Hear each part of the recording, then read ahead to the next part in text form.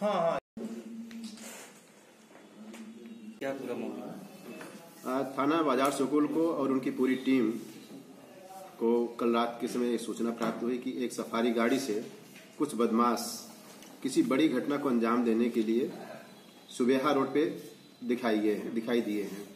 इस सूचना पे तत्काल बाज़ार सुकुल में टीम के इन्होंने अपने बॉर्डर पे नाकाबंदी किया नाकाबंदी को करते हुए देख करके बदमाशों ने पुलिस पार्टी पे फायर किया और इन्होंने दौड़ा करके उसमें काफ़ी हिम्मत का इन्होंने सहारा लिया और दौड़ा करके एक उसमें व्यक्ति पकड़ा गया, बाकी दो उसमें फरार हो गए।